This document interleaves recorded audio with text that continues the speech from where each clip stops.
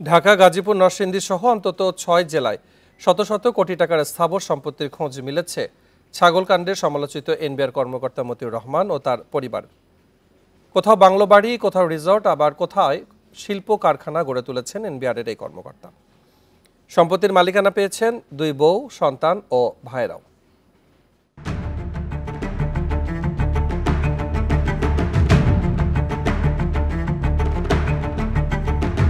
আধাপাকা সড়কের ওপর উঁচু প্রাচীরে ঘেরা সুরম্য এক প্রাসাদ। বিশাল রাজফটক পেরোলে নজর কাড়বে কারুকার্য শোভিত একটি ডুপ্লেক্স। ভবনের সামনে দেশি বিদেশি গাছে সাজানো বাগান, পেছনে পুকুর।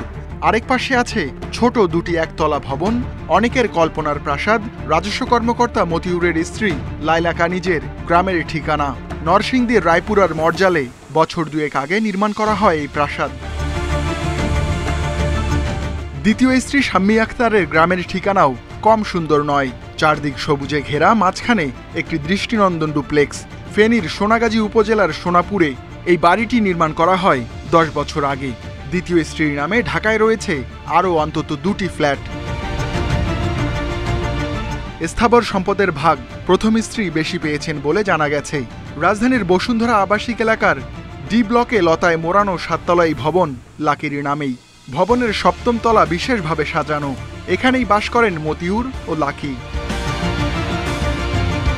এর দুই ভবন পরে সাড়ে তেরো কাঠা জমিতে নির্মাণ করা হচ্ছে পনেরো তলা বিলাসবহুল ভবন।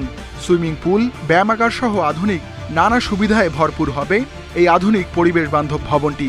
স্থানীয়রা জানান, এই জমির মালিক মতিউরের পরিবার। চার জেলা জুড়ে মতিউর পরিবারের বাণিজ্যিক ও শিল্প স্থাপনার প্রমাণ মিলেছে।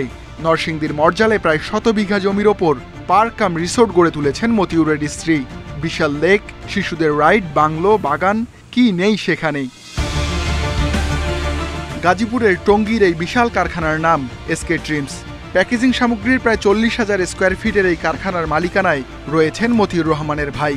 কাজ করেন দেড় হাজারের বেশি কর্মী। ময়মনসিংহের ভালুকায় প্রায় তিনশো বিঘা জমিতে এই কারখানার নাম গ্লোবাল শুজ এই কোম্পানির চেয়ারম্যান মতিউর রহমান নিজেই মানিকগঞ্জের অনেক ট্রিমস কারখানায়ও রয়েছে মতিউর তার পরিবারের মালিকানা। Ruhul Amin independent news Dhaka.